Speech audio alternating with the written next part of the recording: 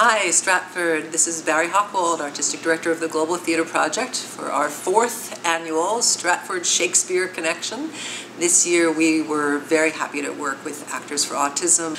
Um, our theme, which we gave the title to our project, is What is Our Part? What is the part that we each take in the world uh, on the global stage as young artists and artists connecting to each other? So we are very um, grateful for this opportunity yet again to connect with you on your celebration for William Shakespeare's birthday. And we look forward to sharing um, some of the work of the project we did today here in Los Angeles.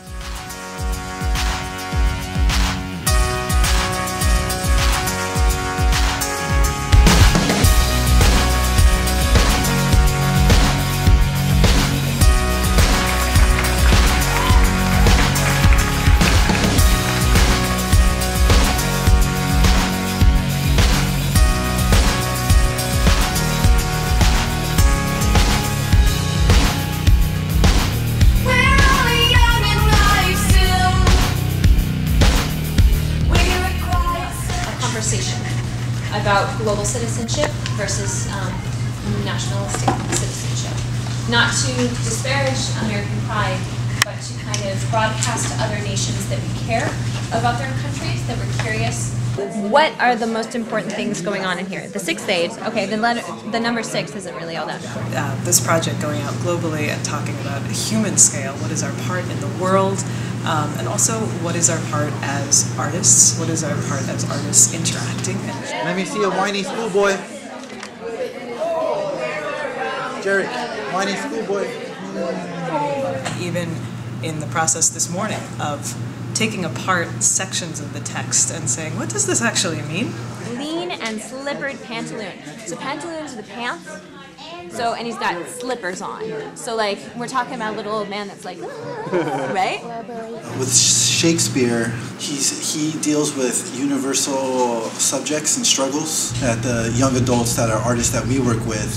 Um, it teaches them a lot, just about the world in general, love, being heartbroken, death, and how to deal with that.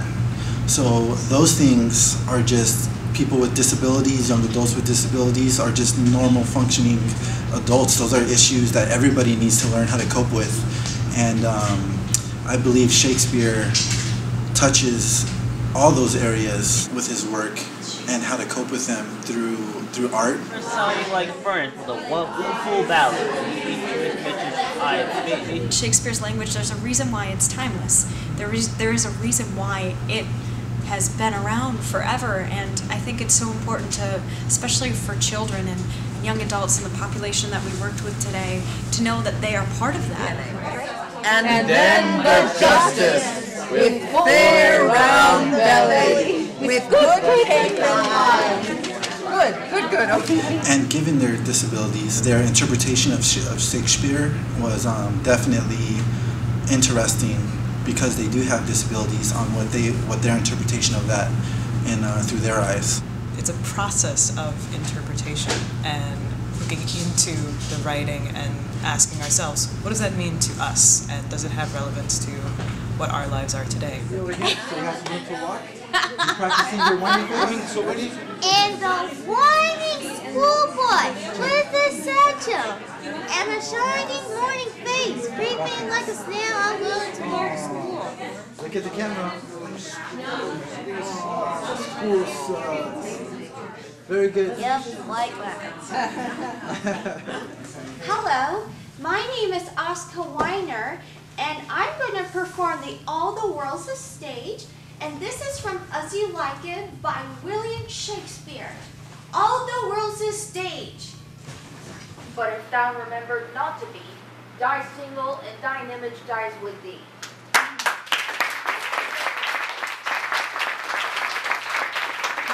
And notice all the conspirators, save only he, did which they did in envy of great Caesar, which was he only in a general honest thought, uh, line, line, and common, and common good to all made one of them, and his life was gentle, and the elements so mixed in him that nature might just stand up and and say to all the world, this was a man. Thank you.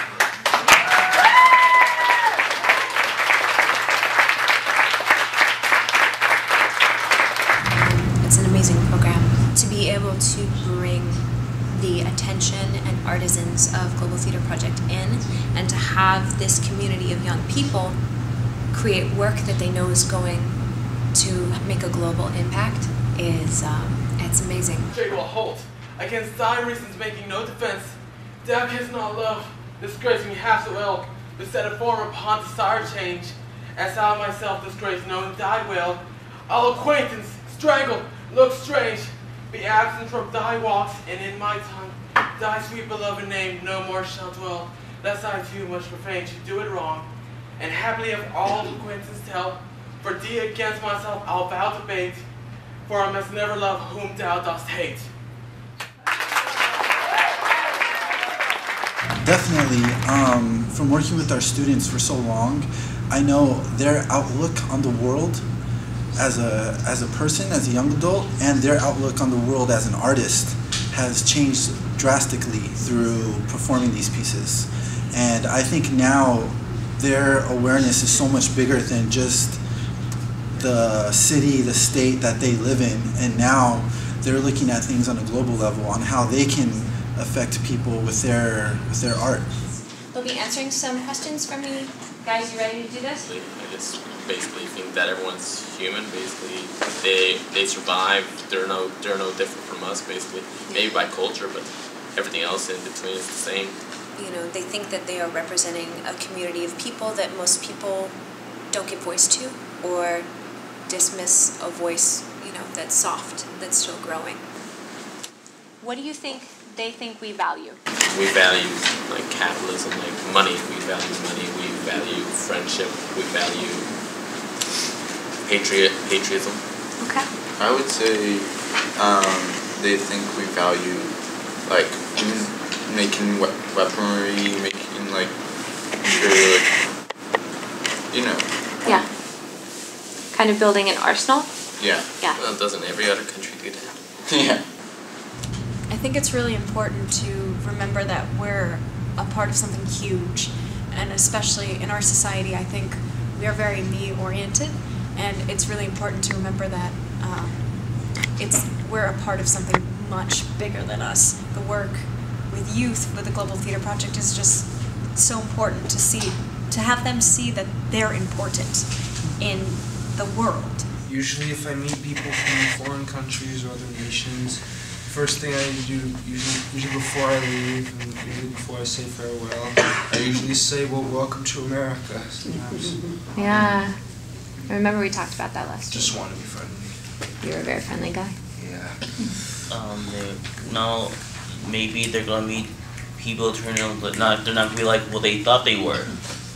And I think they were also really proud to have a voice, not just as um, young adults with disabilities, but for them to be asked questions just as them as a person. Yeah, and um, just as an artist, not just in Los Angeles, but in, as a citizen of the world.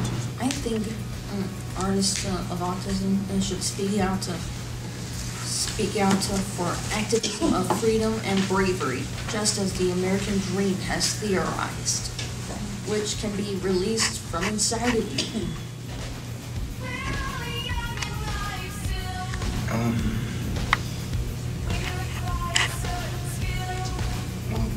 Wish I knew, but I don't know. That's okay. Maybe it's also because that most people with disabilities, like that are artists, might not have the same courage as us, and just seeing us do it gives them gives other people with disabilities hope that they can do it as well. Yeah, exactly. You know, they were really excited about it because I don't think anybody really ever gives them opportunities like this. And the fact that they were given a chance to voice their opinion and that their opinion matters and that it's going to be heard in a broader sense of the world for people to see and people to hear was huge for them. And so I think they really gave a lot of thought to the questions and they were really proud of their answers and that people were going to be hearing them across the globe. in that way, artists have great, great impact and influence in the world's culture and the world's um, uh, establishment. Art can change a lot.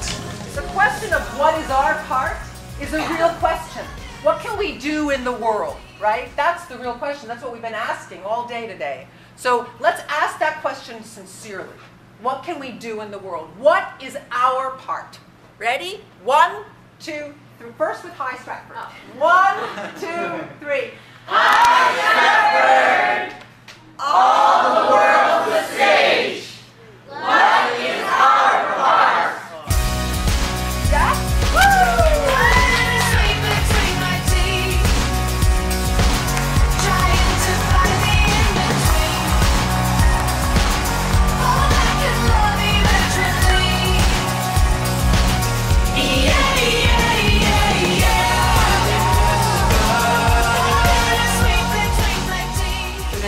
Artists can't change anything?